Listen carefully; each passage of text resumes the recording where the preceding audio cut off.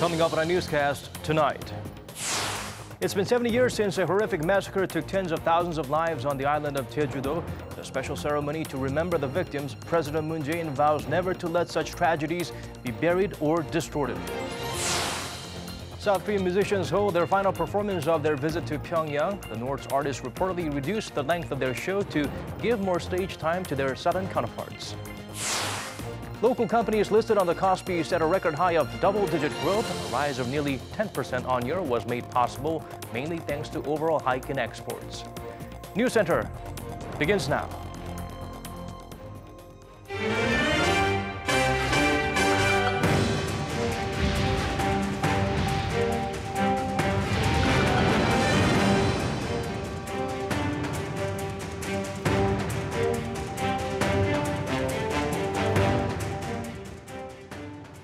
It's 8 p.m. here in Korea, coming to you live from our studio in Seoul. This is Arirang News Center. Welcome to our program. I'm Daniel Choi. President Moon Jae-in attended a ceremony marking the 70th anniversary of the April 3rd tragedy in Jeju. The third South Korean leader to issue an apology over the state violence made it clear efforts to uncover the truth and honor the victims should never end. Arirang's chief Cheong Wa Dae correspondent Moon Gun-young starts us off. Turquoise hued water, coal black volcanic landscape. South Korea's southernmost island of Jeju is famous for its beautiful scenery and hearty local cuisine. But behind its sublime beauty lies a dark history. April 3, 1948 is attributed to a seven-year-long government-civilian clash stemming from an ideological division during which tens of thousands of islanders were brutally killed. In the several decades after 1954, the country's authoritarian governments either distorted or covered up the truth in the name of public order and peace. April 3, 2018. Standing at a peace memorial park dedicated to anywhere between 14,000 and 30,000 victims, many of whose bodies were never found. President Moon Jae-in became only the third South Korean president to apologize for the ruthless massacre of 70 years ago. 국가 폭력으로 말미암은 그 모든 고통과 노력에 대해 대통령으로서 다시 한번 깊이 사과드리고 또한 깊이 감사드립니다. Efforts to find the truth and restore the honor of victims started in the late 1990s under the liberal president of the time, Kim Dae-jung, and were continued by his like-minded successor, Roh Moo-hyun, who became the first South Korean president to issue an official apology and attend a memorial service for the victims. But these efforts fizzled out as budgets were cut and research was stopped under the following conservative administrations. 저는 오늘 그 토대 위에서 4.3의 완전한 해결을 향해 흔들림 없이 나아갈 것을 약속합니다. 더 이상 중단되거나 후퇴하는 일은 없을 것입니다. Making note of those who still refuse to recognize the Jeju incident, President Moon called on the nation to face squarely the dark side of Korean history, free of ideological or political agenda. 우리는 오늘 사소한 영령들 앞에서 평화와 상생은 이념이 아닌 오직 진실 위에서만 바로 설 수 있다는 사실을 다시 확인하고 있습니다. The human rights lawyer turned president, whose key campaign pledge was to find and establish the truth about the Jeju incident, stressed that only then can we repent of the unfortunate past and recover the universal value of mankind. 여러분, 제주에 봄이 오고 있습니다. 문건영, 아리랑 뉴스. And shortly after the ceremony, President Moon held a luncheon with the relatives of the victims of that horrific incident and pledged to seek a complete resolution of the tragedy. 앞으로는 이제 누구도 우리 사삼을 부정하거나 폄훼하거나 또는 모욕하는 일이 없도록 사삼의 진실이 우뚝 서는 똑바로 서는 그런 계기가 되기를 바랍니다. The Liberal leader added he was glad to be able to keep his promise. During his election campaign, he pledged to attend the commemoration ceremony. Government officials, including Jeju Governor Won Hee-ryong, also took part in that event. The The president also visited a shrine at the April 3rd Peace Park where the memorial ceremony took place this morning and paid his respects to the victims of the massacre. Moon also left a message in the guest book expressing his determination to achieve reconciliation and coexistence.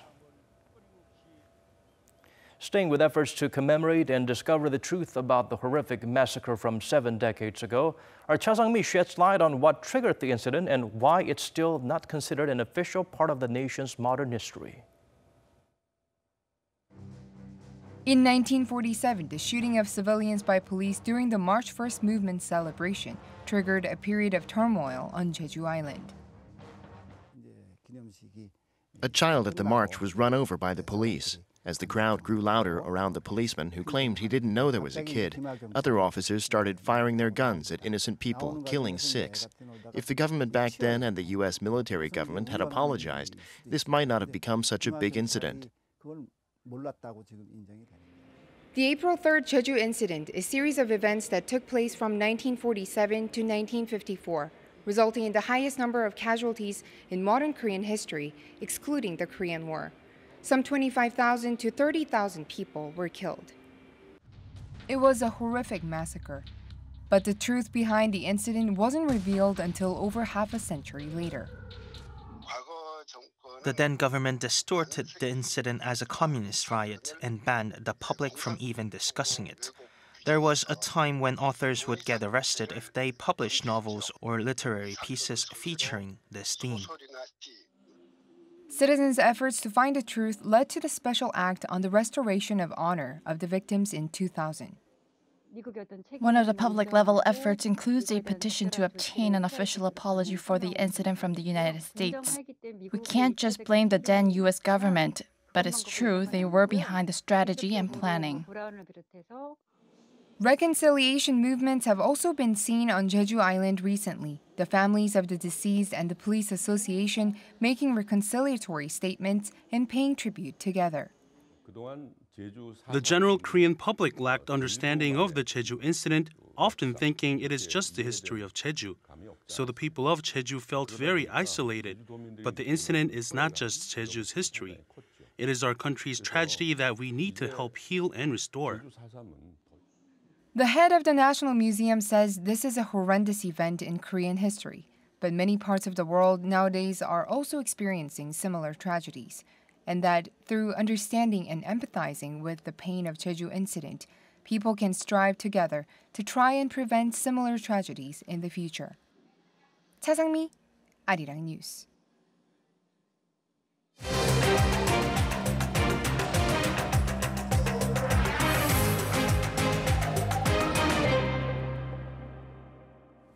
The second and final special show by the South Korean art troupe in Pyongyang comes to an end. Local performers as well as the visiting artists fill the stage before a packed audience. Kim Mo-hyun zooms in on the cultural exchange that brought the two sides closer together. The 160-member art troupe began their two-hour-long joint concert with their North Korean counterparts at around 3.30 p.m. South Korea time. Initially, the performance was set to begin an hour later, but was changed at the request of the South Korean side. This time around, the concert was held at the 12,000-seat Yugyong Cheongju Gymnasium, which is eight times larger than the venue for the first performance held on Sunday. The venue is the same place where South Korean artists last performed in 2005. The group, which became the first South Korean troupe to perform in North Korea since then, consists of nearly a dozen artists, including legendary singers Cho Yong-pil and Lee Sun-hee, K-pop stars Red Velvet and Seohyun of Girls' Generation. Prior to the performance, a government official traveling with the troupe said that the North Korean troupe shortened its performance time to give more stage time to artists from South Korea. Under the title Spring Comes, the group, together with artists from North Korea, performed various pieces from both sides of the divided peninsula. Unlike the first concert on Sunday, where Seohyun emceed by herself, this time she was accompanied by a North Korean male co-host, whose identity is yet to be revealed. After the concert, the head of North Korea's Samjiyon Orchestra, Hyun Song-wol, said she was happy with it. I'm glad because I think the concert went well. Both sides did well. North Korean leader Kim Jong un attended the first concert on Sunday, but there were no word whether he was at Tuesday's performance. After the performance, the South Korean artists, together with Culture Minister Do Jong-hwan, were scheduled to attend a dinner in Pyongyang at around 7:30 p.m. South Korea time, hosted by Kim Young-chul, a vice chairman of the Central Committee of North Korea's ruling Workers' Party. The troupe, together with a taekwondo demonstration team, are then set to return to Incheon International Airport at midnight. Kim Mo-kyun, Arirang News. North Korean Foreign Minister Ri Yong-ho has met with Chinese State Councilor Wang Yi over in Beijing. The top diplomat and the, his counterpart from China are expected to have discussed pending issues brought up during last week's surprise meeting between the Chinese and North Korean leaders. Ri is making a stopover in the country before heading to Azerbaijan on Thursday to attend the Non-Aligned Movement Summit. According to diplomatic sources, it's uncommon for Ri to meet with local officials while making a transfer, adding its assigned bilateral relations are on the mend. After schedule in Azerbaijan is complete, the North Korean foreign minister also plans to visit Russia to coordinate with Moscow on issues ahead of the historic summits with Seoul and Washington. 38 North refuted the Japanese foreign minister's recent claim that Pyongyang appears to be preparing for another nuclear test. According to the report by the U.S.-based North Korea monitoring site on Monday, analysis of commercial satellite imagery of the regime's nuclear test site does not back up Taro Kono's claim.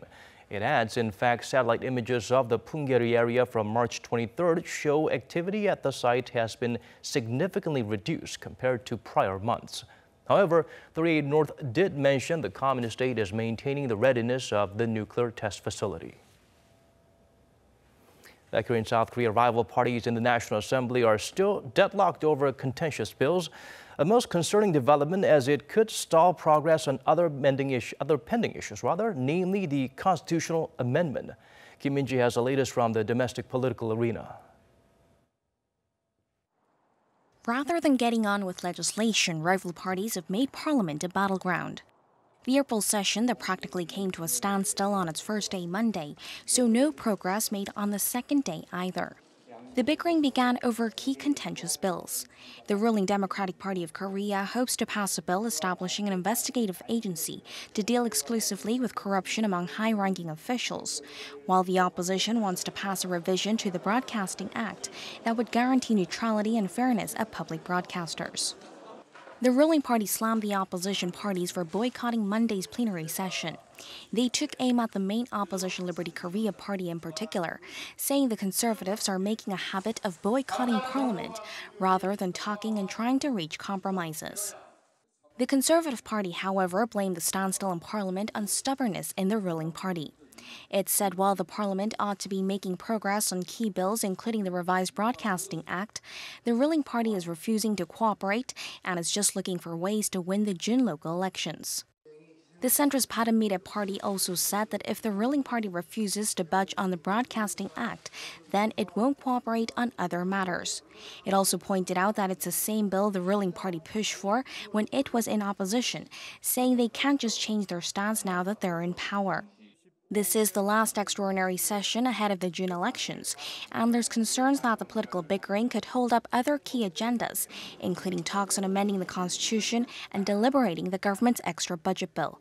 Kim Min-ji, Arirang News. Sentencing of Park Geun-hye will be televised live, another first in Korean history under her belt after becoming the first democratically elected president to be impeached.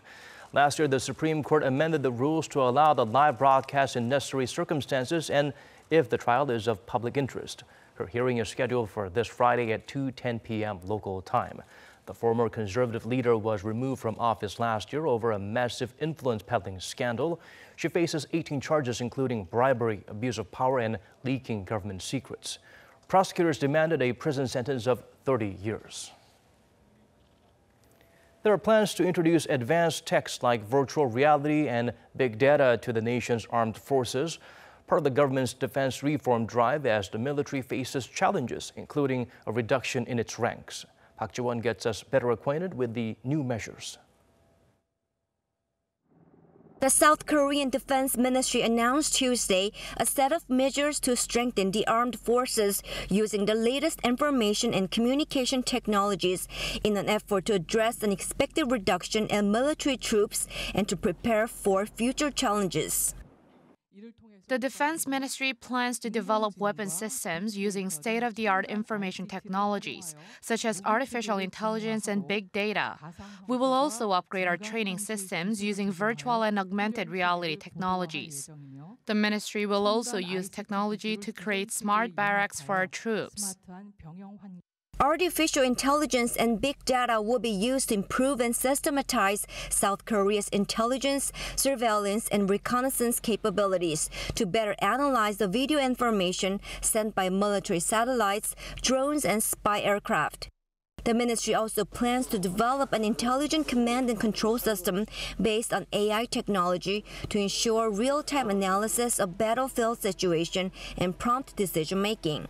Also, to improve military training, virtual reality or augmented reality technologies will be applied to various operations, in particular, special operations simulations, submarine crew training, and airbase operation training. The country's military is to be reduced to around half a million personnel by 2022 from the current 625,000. And in view of that, more than 25 million US dollars has been spent by the government on many multi-year defense projects aimed at using such technology to enhance the military's capabilities. Park Ji-won, Arirang News. South Korean firms listed on the country's main stock index reaped record net profits last year. The trend is mainly driven by export growth and solid chip sales. Won Jong-un helps us look beyond the uplifting numbers. In 2017, the 533 companies listed on the Kospi saw record net profits. According to Korea Exchange, the companies recorded a combined sales revenue of over 1 trillion 700 billion US dollars, a nearly 10% increase from the previous year. Their combined operating profits also grew to nearly 150 billion US dollars, a more than 28% increase from a year earlier. The record high figures are mainly a result of strong exports, especially in the semiconductor market. And according to an economic expert, the growth is likely to continue amid the strong recent performance of the global economy. The global economy is recovering, uh, and overall global uh, GDP growth rate is well above 3% level. Uh, some people are estimating that this year might go up to 4%. So as long as the, uh, the global growth rate is picking up, the export-oriented countries such as Korea does benefit. But there is some concern as the strong performance of the Kospi is being driven by a handful of large companies. The top 10 companies, including Samsung Electronics and SK Hynix, generate more than 60% of the overall earnings skewedness is extremely high. Now, why this is happening is because of the fourth uh, industrial revolution that's happening in global scale. Uh, as long as the uh, fourth industrial revolution accelerates, um, the demand for DRAMs and NAND uh, and memories are going to increase on exponential, exponential level. While South Korea's economy is benefiting from the fourth industrial revolution, the way the figures are skewed by the strong performances of a few companies highlights the need for a more balanced economy. 원정환, 아리랑 뉴스. Shifting our focus to some unwelcome spikes now, consumer prices in Korea inched up again last month. Notable hike in the cost of agricultural products are seen as the key contributing factors. Kim Ji-yeon breaks down the digits for us. Consumer prices in Korea saw on-year increases in the 1% range for the sixth straight month in March. Statistics Korea says its consumer price index jumped 1.3% on year. This is mainly due to price increases of agricultural products, which spiked by a whopping 4.7% compared to the previous year. In particular, the prices of grain, including the country's staple food rice, rose by more than 20%, the steepest rate of increase since June 1996. An official from the statistics agency says, however, that price increases of vegetables has slowed compared to the previous month as the weather has got warmer. Fisheries product prices, on the other hand, rose by more than 5% on year in March. The core inflation rate, which excludes volatile food and oil prices, also jumped by 1.3% on year. The prices of service fees increased as hiring fees for housekeepers climbed 11% in March on year, the sharpest rate of increase since December 2007. Food and beverage prices in eateries and bars also rose by 2.5% on year in March. An official from the statistics agency says, however, that it's not clear whether that's mainly due to the 16.4% increase in the minimum wage this year, currently at around 7 US dollars an hour. Kim Ji-yeon, Arirang News. The first annual The Economy Forum on Blockchain is taking place in Seoul this week. Experts from around the world put their heads together to focus on the topic for day one, the state and future of that technology. Kim Yasung shares with us what was discussed. What's the state of blockchain and the future of cryptocurrency? Entrepreneurs, investors, and cryptographers from across the world gathered in Seoul on Tuesday at the The Economy Forum to tackle that question. Speakers included David Chaum, the father of digital currency, who laid out the roots of blockchain technology in the early 1980s. This is a very exciting time for crypto.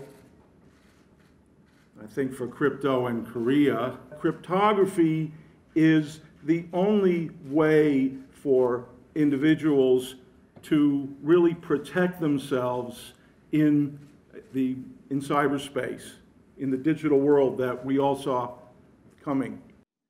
Blockchain is a digital ledger that records transactions across many computers without requiring a central administrator. The technology has been drawing enormous attention in recent years with startups and tech giants like Google and IBM and even major financial firms like JP Morgan Chase investing in it.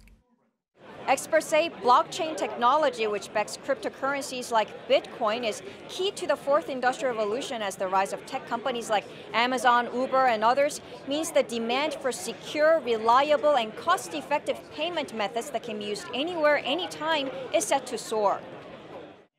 The goal of blockchain companies is to move money as easily as information moves in order to drive innovation. The technology has improved with faster decentralized software and enhanced security systems. I think payment systems is actually one of the least interesting things with the blockchain. One of the more interesting things is the business processes of corporations themselves. And now you're seeing things with smart contracts emerging, and you're only seeing very early days, right? We're moving things from centralized exchanges into decentralized exchanges. It's growing very, very, very rapidly right now. And as it grows, obviously things change, they adapt, regulation comes in, consumer protection comes in. But really, it's growing as fast as any technology has ever grown. The consensus seems to be that blockchain technology is important, but that regulations need to follow at the same pace for innovation for it to really benefit the general public. Experts will discuss privacy, regulation, and government taxation at the forum on Wednesday. Kim Hae-sung, Arirang News.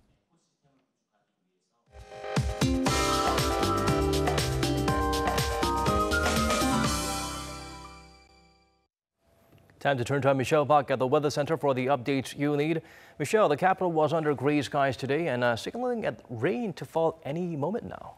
Daniel, spring showers are in the forecast tonight. The central region, including Seoul, the northern Gyeonggi-do and Gangwon provinces, also tonight will start getting rain, while the southern regions will only get cloudier.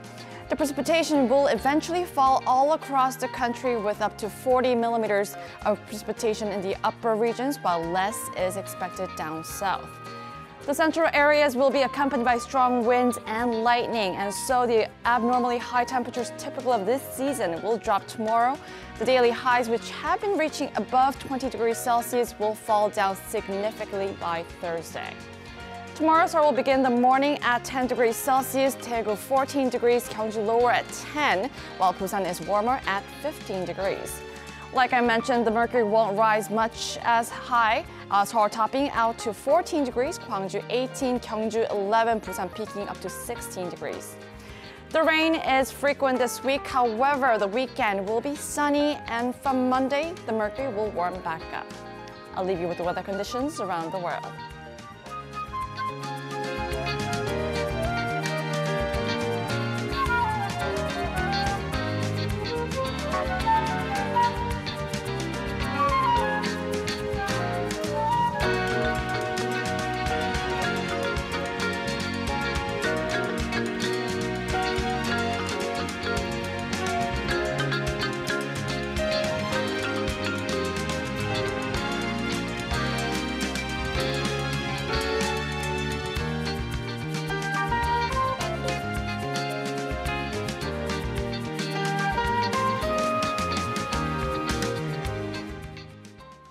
These are all the stories we could pack into tonight's evening's edition of Arirang News Center. Thank you for staying with us as always.